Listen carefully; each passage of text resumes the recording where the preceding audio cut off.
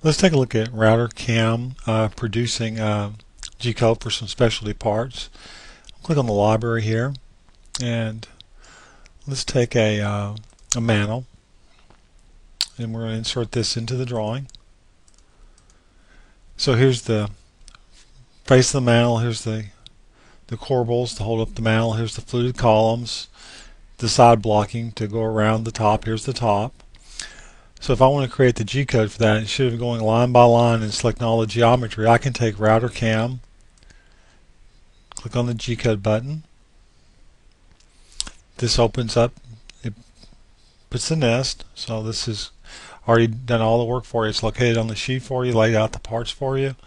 All I have to do is click to display the code, and you can watch Router Cam go through and actually add the uh, toolpath and create all the G-code necessary necessary for cutting out this mantle.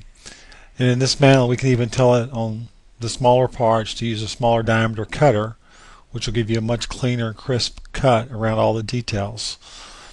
That's how simple it is to create custom millwork uh, through RouterCam and this is one of the included files uh, in RouterCam. Uh, thank you very much for your time.